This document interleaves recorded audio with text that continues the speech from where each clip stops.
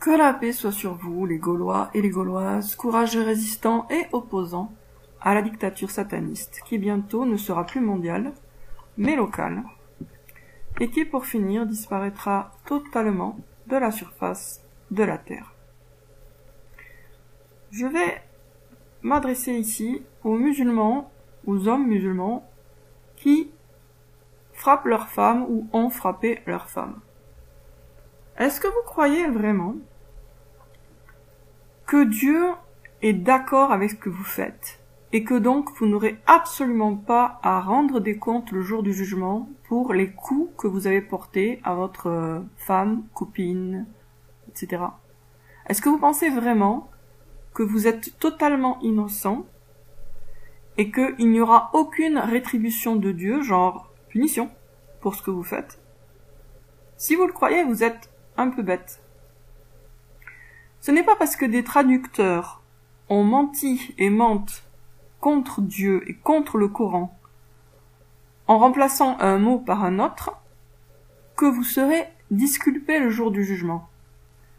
Dieu est le meilleur des comptables, il prend tout en compte.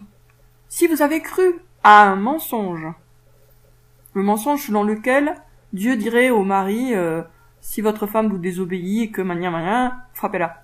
Si vous avez cru à un mensonge, et que vous, avez, vous êtes servi de ce mensonge pour justifier vos actes, Dieu ne va pas vous disculper sous prétexte que vous avez cru à une fausse traduction, parce que vous avez une balance interne.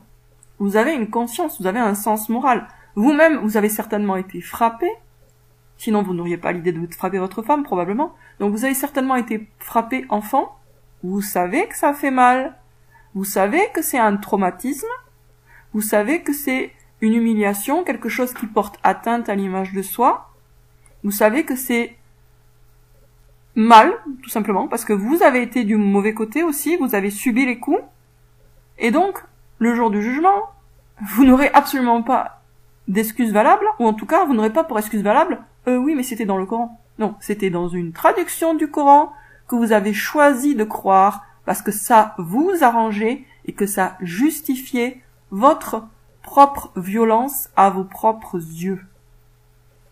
Mais Dieu est juste et pour lui, tout le monde est à égalité. Si vous faites du mal à une femme, pour lui, c'est tout aussi grave que si vous faites du mal à un homme. Si vous faites du mal à une femme, c'est tout aussi grave à ses yeux que si vous faites du mal à votre père, par exemple. Parce que Dieu prend tout en compte et pour lui, il n'y a pas de chouchou, de favori, etc. Donc quand vous faites du mal à une femme, à votre femme par exemple, eh bien vous en êtes pleinement responsable et vous ne pourrez pas vous cacher le jour du jugement derrière une traduction du Coran pour dire oh non mais c'est pas ma faute, j'ai lu ça dans le Coran donc j'ai cru que j'avais le droit vraiment, j'ai vraiment cru sincèrement. Non non non. Dieu connaît le contenu de vos âmes, il sait, il connaît votre violence, il connaît votre sadisme, il connaît votre méchanceté et vous en êtes et vous en serez pleinement responsable. Il y a beaucoup de passages du Coran qui ont été falsifiés par les traducteurs. Par exemple, il y a aussi le passage où on attribue à Suleiman une violence totalement incompatible avec euh, son statut d'envoyé de Dieu, violence gratuite et débile. Donc dans les traductions euh, banales classiques du Coran, du Coran Suleiman trancherait les, les coups d'un grand nombre de chevaux simplement parce que, en les admirant, il aurait raté de faire la prière euh, de Maghreb. Bon, ça n'a strictement aucun sens. Là, le véritable sens de ce verset, c'est qu'il a caressé leur encolure, caressé. Donc le, le verbe qui signifie caresser en arabe a été traduit par couper, parce que les traducteurs sont des malades influencés par d'autres malades, d'autres psychopathes. C'est des générations et des générations de gens qui ont été dont la scène nature a été tordue et euh, abîmée par des coups dans leur enfance. Ils ont été frappés et du coup ils trouvent c'est normal de frapper et voilà ils veulent que les prophètes aussi soient violents, etc. Quand un youtubeur musulman, pour ne pas dire son nom, quand Mamar Mati, mon cher frérot, euh, vous dit que le prophète a frappé Aïcha, comprenez, mettez les choses en contexte. Mamar a été frappé quand il était petit par son père. Il a vu sa mère se faire frapper par son père. Il le dit lui-même dans un de ses livres. Je n'invente rien. Et donc, lui-même est un homme violent avec les femmes. Et il a envie de penser que l'envoyé de Dieu était lui aussi violent avec les femmes. Ça le rassure. Mais en fait, euh, peut-être que ça lui, ça le rassure, mais vous, vous auriez bien tort de le croire. Bien tort d'être naïf au point de vous dire, oh mais s'il le dit, c'est que c'est vrai. Non, il le dit pour des raisons psychologiques qui lui sont propres et qui n'ont rien à voir avec l'amour désintéressé de la vérité. Donc moi je vous conseille d'écouter votre balance intérieure, votre conscience. Votre conscience vous dit que on ne résout pas des problèmes de couple par les coups. Et là il y en a un sur un chat qui m'a dit ah oui mais euh, euh, au Maghreb euh, il y a pas mal de, maris qui frappent leurs femmes et elles les aiment quand même. Bah, ça c'est ce que vous voyez de l'extérieur. Mais au Maghreb, il y a aussi beaucoup de femmes qui se débarrassent de leur mari, soit par le poison, soit par la magie. Et vous croyez qu'elles s'en débarrassent pourquoi? Parce qu'elles les détestent. Et pourquoi elles les détestent? Parce qu'ils les frappent. Donc mettez un peu les choses en perspective.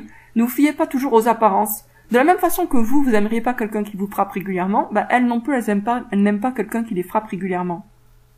Et c'est pas parce qu'elles jouent la comédie qu'elles aiment sincèrement ce mari qui les frappe. Et les, les, femmes qui tuent leur mari, il y en a beaucoup, et plus que ce que vous croyez, parce qu'elles ne se font pas prendre. Elles utilisent des moyens discrets, comme le poison, ou la sorcellerie, et du coup, ben, voilà, ça passe inaperçu, ça passe sous le radar de la police. Donc, ce n'est pas en frappant son conjoint ou sa conjointe, son mari ou sa femme, qu'on va cultiver l'amour dans son couple. C'est un petit peu évident, n'est-ce pas? Hein C'est un petit peu évident.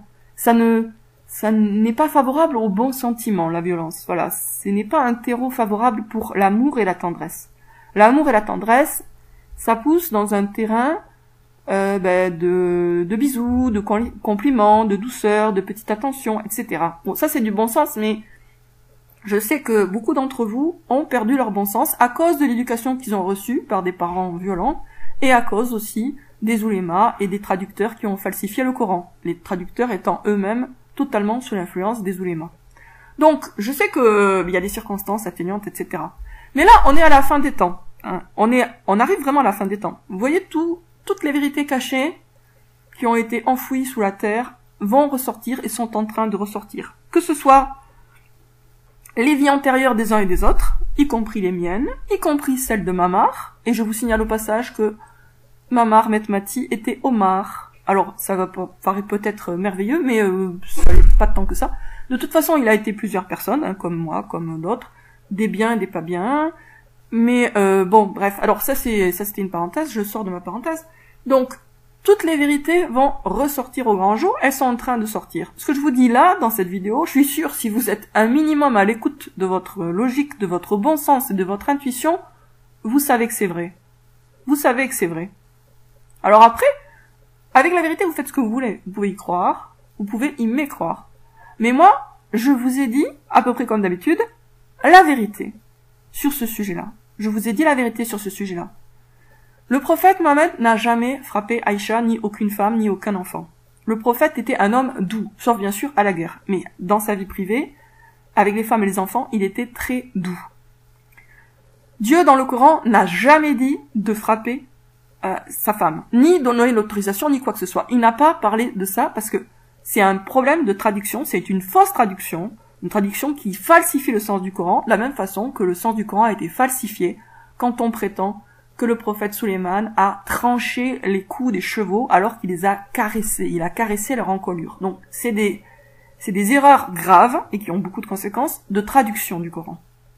Si vous vous êtes vous avez vous êtes tenté par la violence avec votre femme, c'est tout simplement que vous avez eu des exemples de violence sous les yeux quand vous étiez petit et qu'on a tendance à reproduire ce qu'on a subi et à infliger aux autres les traumatismes dont, on a été soi-même victime dans son enfance. Mais ce n'est pas une fatalité et vous êtes responsable de vos actes.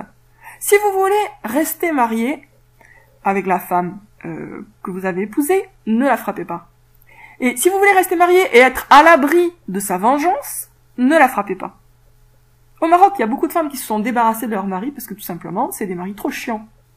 Et donc elles n'ont pas de scrupules, euh, et euh, je dis pas qu'elles ont raison de ne pas en avoir, mais il y en a qui n'ont pas de scrupules, et qui les tuent tout simplement, discrètement. Donc si vous voulez être à l'abri de la haine de votre épouse et à l'abri du divorce, les deux, ne frappez pas votre épouse.